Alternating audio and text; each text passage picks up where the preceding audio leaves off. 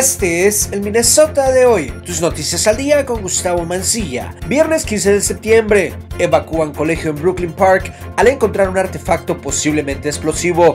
Conceden al Estado una extensión para identificación oficial por tres años. Policía de Metro Transit recibió 50 mil dólares para evitar demandas ingresos minnesotanos suben ligeramente. La tasa de desempleo estatal fue de 3.8% en agosto. Corea del Norte ignora las amenazas yankees. Los Twins imparables ganando y preparándose para los playoffs.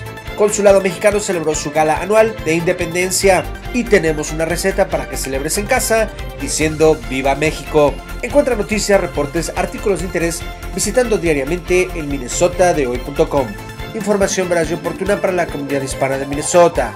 El minnesotadehoy.com es presentado por Decimos No Más y por Invergrove Toyota. La oficina de leyes de Donald Knock, con oficinas en Mercado Central, Plaza Latina y ahora en Lake Plaza. 612-940-1173. El abogado que usted elija hace la diferencia. Hablamos español. Aprende más en decimosnomas.org.